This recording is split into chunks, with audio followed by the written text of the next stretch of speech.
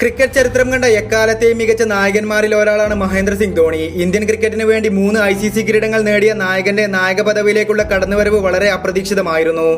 രണ്ടായിരത്തി ഏഴിൽ മുൻ ഇതിഹാസ താരം രാഹുൽ ദ്രാവിഡിന്റെ പിൻഗാമിയായിട്ട് സച്ചിൻ ടെണ്ടുൽക്കർ നിർദ്ദേശിച്ചത് ധോണിയുടെ പേരായിരുന്നു. രണ്ടായിരത്തി ഏഴിലെ ഏകദിന ലോകകപ്പിൽ ആദ്യ റൗണ്ടിൽ തന്നെ പുറത്തായി വന്നതോടെ ഇന്ത്യയിൽ കനത്ത പ്രതിഷേധമായിരുന്നു ഇന്ത്യൻ ക്രിക്കറ്റ് ടീമിന് നേരിടേണ്ടി വന്നത്.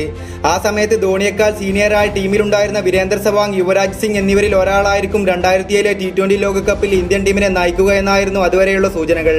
എന്നാൽ തീർത്തും അപ്രതീക്ഷിതമായി ധോണിയെ നായകനാക്കാൻ സച്ചിൻ ടെണ്ടുൽക്കർ നിർദ്ദേശിക്കുകയായിരുന്നു. അന്ന് ധോണിയുടെ പേര് നായകനായി നിർദ്ദേശിക്കാനുള്ള കാരണം വെളിപ്പെടുത്തിയിരിക്കുകയാണ് സച്ചിൻ. ആ സമയത്ത് ഇന്ത്യയുടെ വിക്കറ്റ് കീപ്പറായി ധോണി കളിക്കവേ സച്ചിൻ ധോണിക്കൊപ്പം സ്ലിപ്പിൽ ഫീൽഡ് ചെയ്യാറുണ്ടായിരുന്നു.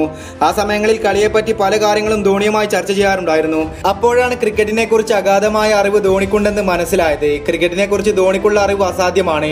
ഇതുകൊണ്ടാണ് ധോണിയെ ഇന്ത്യയുടെ നായകനായി താൻ നിർദ്ദേശിച്ചതെന്നും സച്ചിൻ വിശദമാക്കി. അങ്ങനെ രണ്ടായിരത്തി ഏഴ് ടി ട്വന്റി ലോകകപ്പിൽ ധോണിയെ നായകനാക്കിക്കൊണ്ട് B C C I team പ്രഖ്യാപിക്കുകയായിരുന്നു. ധോണി ആയിരിക്കും ടീമിനെ നയിക്കുക എന്നറിഞ്ഞപ്പോൾ ആരും ഇന്ത്യയ്ക്ക് കിരീട സാധ്യതകൾ കൽപ്പിച്ചിരുന്നില്ല. എന്നാൽ പേരിനൊരു കോച്ച് പോലും ഇല്ലാതിരുന്ന ആ ഒരു ഇന്ത്യൻ ടീമിനെ വെച്ച് ധോണി ലോക ചാമ്പ്യന്മാരാക്കി മാറ്റുകയായിരുന്നു. പിന്നീട് അങ്ങോട്ട് ഓരോ നാഴികക്കല്ലുകളും കീഴടക്കിക്കൊണ്ട് ധോണി മുന്നേറി. രണ്ടായിരത്തി ഏഴിലെ ടി ട്വന്റി ലോകകപ്പ് വെറുമൊരു തുടക്കം മാത്രമായിരുന്നു. പിന്നീട് അങ്ങോട്ട് നിരവധി അവിസ്മരണീയ വിജയങ്ങളിലേക്ക് അദ്ദേഹം ഇന്ത്യൻ ടീമിനെ നയിച്ചു. ചരിത്രത്തിൽ ആദ്യമായി ഇന്ത്യ ഐ സി സിയുടെ ടെസ്റ്റ് റാങ്കിങ്ങിൽ ഒന്നാം സ്ഥാനത്തെത്തുകയും രണ്ടായിരത്തി പതിനൊന്നിൽ സ്വന്തം നാട്ടിൽ നടന്ന ഏകദിന ലോകകപ്പിൽ കിരീടം ചൂടുകയും ചെയ്തു. പിന്നീട് അങ്ങോട്ട് രണ്ട് വർഷങ്ങൾക്ക് ശേഷം രണ്ടായിരത്തി പതിമൂന്നിൽ I C C champions trophy കിരീടവും ഇന്ത്യ സ്വന്തമാക്കിയതോടെ ഐ സി സിയുടെ മൂന്ന് പ്രധാന കിരീടങ്ങൾ സ്വന്തമാക്കിയ ലോകത്തിലെ തന്നെ ഏക നായകനായി ധോണി മാറുകയും ചെയ്തു.